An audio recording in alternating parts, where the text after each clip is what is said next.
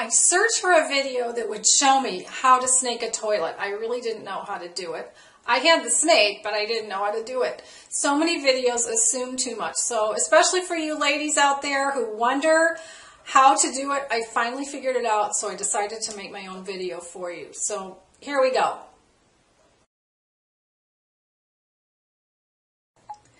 The hardest thing about using the snake is that you have to get it, I'm trying to get a good shot of the under part of the toilet because my toilet actually shows the anatomy, so to speak. You have to get the, the snake to go down here, all the way up, and all the way down.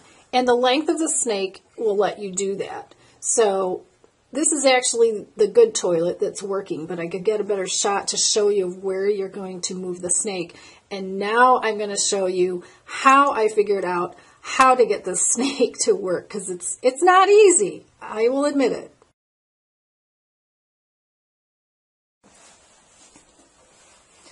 I don't like these low flush toilets, but now I found out how to use the snake because so many times the plunger just doesn't work. So when you start out, when I hang this on a hook in my garage, I've, um, let me show you how I usually hang it. It's typically all the way open. So the thing is, you want to pull the snake back so that this coil piece is the only part showing. This plastic part protects the porcelain of the toilet from getting scratched by the metal. So the first thing you, you want to do is pull it back and then set it inside the bottom of the toilet. So you've got this plastic part protecting the bottom of the toilet. So now the hardest part is pushing this coil all the way down to the handle. So the handle ends up here on top of the plastic through that whole part of the toilet that I showed you um, swirls up and down and around. So it takes some practice. And if you're learning how to do this for the first time, you might want to practice on a to toilet that's working fine just before you have an emergency, especially if you have a one bathroom home or apartment. So first, you want to push it again. You can see it even takes me a little bit of time get going.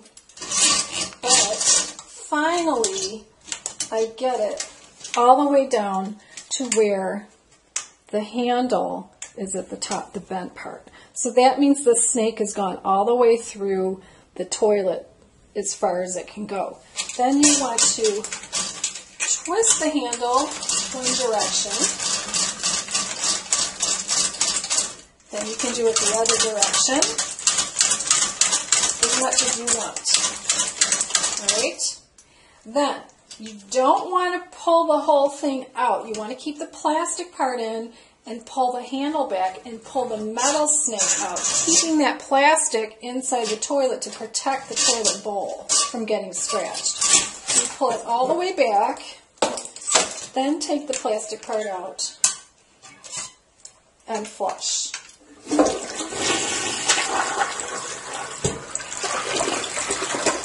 Sometimes you get success right away. Everything's clear now. But if it doesn't clear, if you still have a problem, do it a second time. Do it a third time. Again, just make sure you have the plastic inside the toilet to protect the toilet bowl from getting scratched. And then the hardest part is getting this metal piece, the whole metal snake, to snake its way through the toilet. Then turn the handle when you get it all the way down and turn it the other way. Keep the plastic part in, pull it back, pull it out, and flush. So hopefully this has shown you an easy way to learn how to snake a toilet properly. Please practice this. I wish I had before I had a problem and really needed to use it but it really works so much better than a plunger on the low flush toilets.